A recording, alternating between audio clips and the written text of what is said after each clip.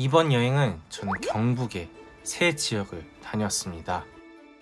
경북에서는 지금 보랏빛 가을을 느낄 수 있다고 해서 제가 찾아가 봤는데요. 바로 문경의 봉천사입니다. 봉천사에는 개미치라는 꽃이 지금 활짝 만개해 있는데요. 개미치라는 꽃은 다소 생소할 수 있는 가을 꽃인데요. 봉천사에는 정말 아름답게 피어 있었습니다. 이게 부지가 작지 않고 굉장히 넓어서 저는 깜짝 놀랐는데요. 보통 가을에는 단풍색이나 노란색이 많이 떠오르실 텐데요.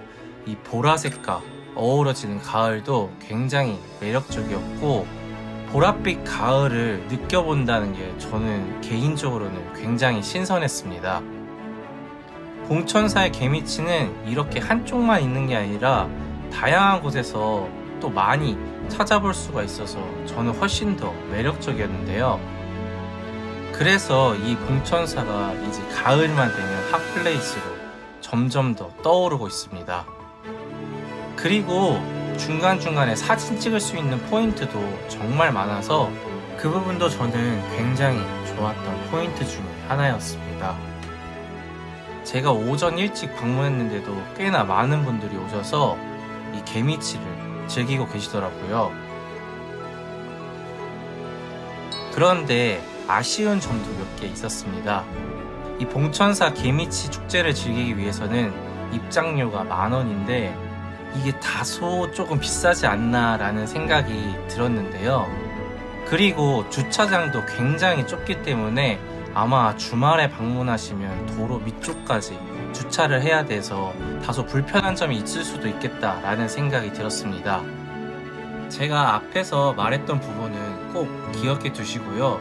하지만 나는 보랏빛 가을을 가득 즐겨보고 싶다 하시는 분들에게는 저는 적극적으로 이 봉천사를 추천해 보도록 하겠습니다. 보라색 가을을 가득 즐기셨다면 그 주변에 있는 문경의 고모산성도 함께 가보시는 걸 추천하는데요.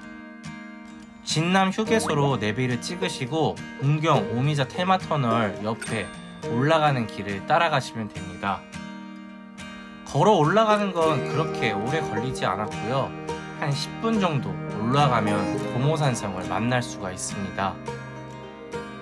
이 고모산성에서 즐기는 문경의 뷰가 굉장히 매력적이었는데요.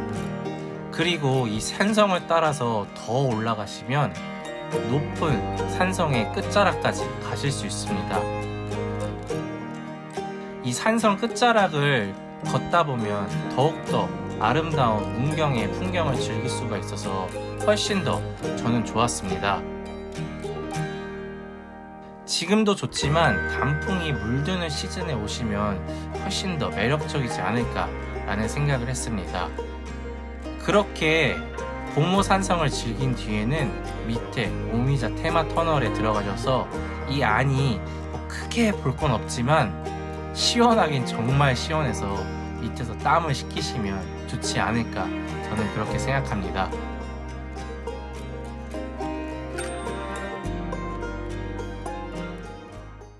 보라색 가을을 안동에서도 느낄 수가 있다고 해서 이번에는 안동의 하회마을로 찾아가 봤는데요. 안동 하회마을에도 역시 개미치가 가득 피어있는 공간을 만날 수가 있습니다. 이 충효당 뒤쪽으로 가시면 개미치가 한가득 피어있는 것을 보실 수가 있는데요. 이 뒤에 전통 가옥과 어우러지면서 봉천사와는 또 다른 느낌을 보여주는 장소였습니다.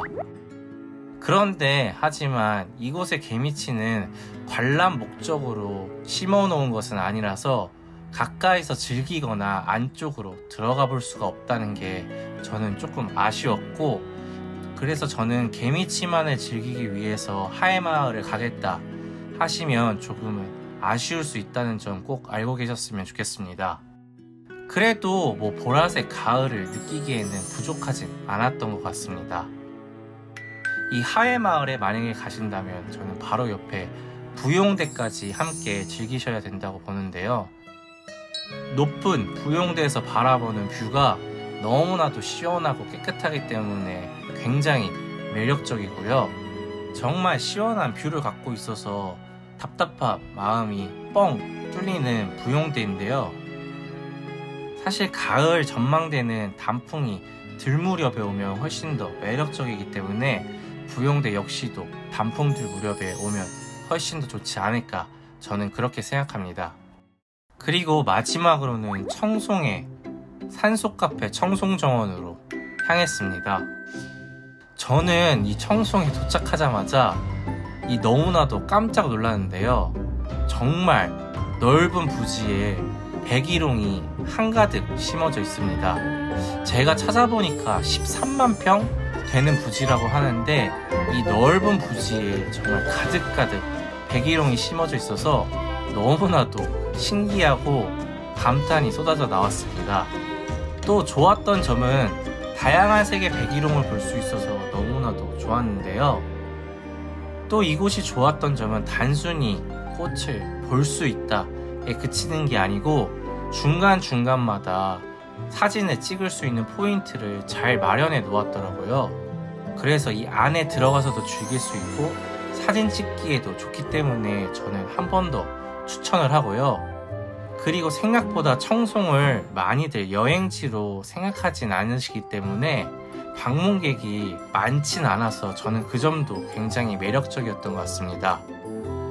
물론 방문객이 많이 방문해도 여기 너무 넓어서 즐기시는데 무리가 없을 거라고 생각하고요. 1억 송이의 백일홍의 매력에 한번 빠져보셨으면 좋겠습니다. 오늘 소개해드린 여행지들이 모두 다 좋았지만 제가 개인적으로 추천하는 코스는 봉천사에서 개미치를 즐기고 청송정원으로 바로 가는 걸 추천합니다.